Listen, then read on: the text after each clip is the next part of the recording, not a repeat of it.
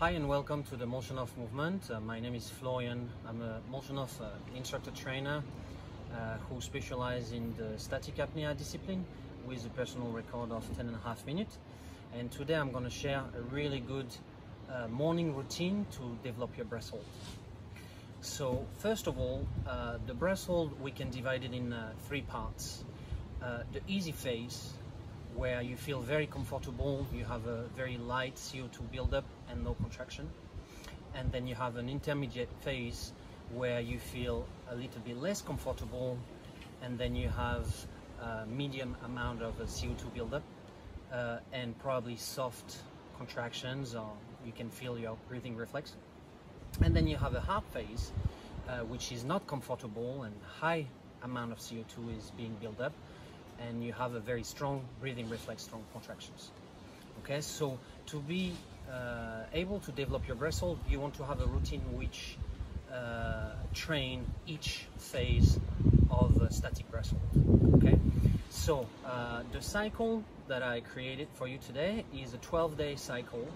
Uh, you're basically doing three days of exercise to work on your phase one, the easy phase, three days to work on phase two, the intermediate phase, and then three more days to work on phase three, the half phase.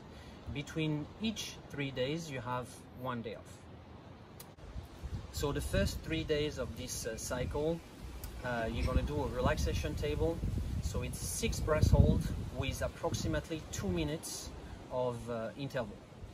Uh, during this, during each breath hold, you're gonna try to hold your breath until discomfort plus 30 seconds approximately okay? And the idea is to basically breath hold after breath hold extend the relaxation time and feeling more comfortable. Okay you can play with breathing a little bit okay? So in static it is okay to breathe slightly deeper or slightly faster okay? So you can play a little bit with your breathing to see what would be working uh, the best okay? You can also play with packing if you if you have learned packing already you can practice with uh, different amount of packing and see what working best to extend the phase one of your breath hold. Okay, so you're gonna do three days like this.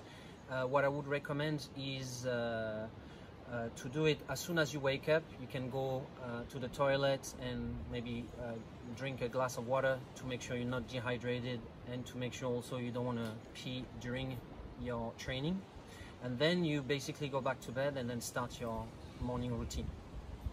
Uh, this is how I do it almost every day and that's been working uh, fantastic so far. Okay. During this phase one you can also uh, try to do as much stretching as possible. It will really help getting more relaxed and increasing the comfort during the breath hold. Uh, what I would recommend during phase one is to do for example the Molchanovs breathing gymnastics which you can find in uh, the base training on the Molchanovs community website.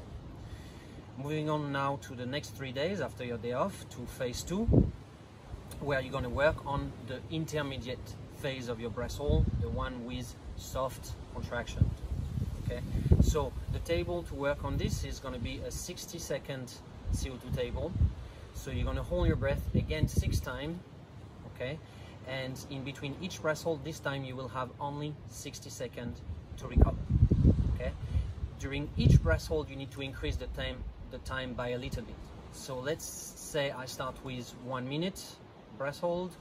I will have 60 seconds to recover and then I will add 20 seconds to 30 seconds for the next one and the one after that etc till the end of the table. Okay so this breath hold basically uh, start to engage a little bit more discomfort and then you start building up a bit more CO2 and it's really really close to the sensations that you will feel during a max breath hold uh, in the first part of the contraction phase. Uh, during this uh, phase uh, two, what I would recommend in terms of stretching would be to focus more on full lung stretching. So a little bit more uh, pressure into the lungs than the stretching which you will use during phase one. After that, you're going to work on your phase three, the hard part of the breath hold, the last phase. For that, you're going to do two breath hold only in the morning, as soon as you wake up. You're going to do one warm up, It can be a hard warm up, it can be a soft warm up. You have to test both options. You're going to take as much time as you want to recover, and then you're going to do one max attempt.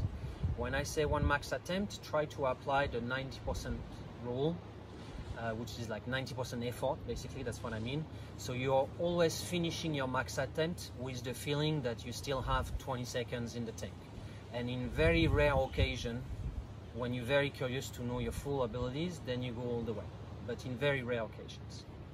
And that will finish the 12 day cycle uh, where you will work basically on the three different phases of the breath holds and that will result in a, a, a really good improvement in your relaxation and in your CO2 tolerance and hopefully uh, you will get higher numbers.